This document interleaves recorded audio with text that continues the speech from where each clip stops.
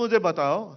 मैं तो जैसे आपने कहा इंतज़ार कर रहा हूँ, बीके में कब आप जनसभा करते हो?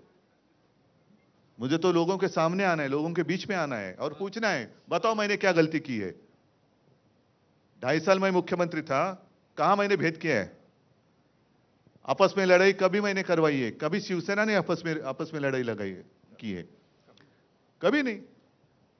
दुख इस बात का होता है कि 92 93 की जो आपने ज़िक्र किया तो यही तो मेरे शिवसैनिक हैं। आज अनिल परब है वायकर है, विनायक जे ऋतुजाताई बसले त्यांचं तेव्हा, रमेश होता है, भाऊ कोरगावकर है इकडे पण काही लोग असतील ये तो हमारे सैनिक हैं जिन्होंने मुंबई को बचाया था।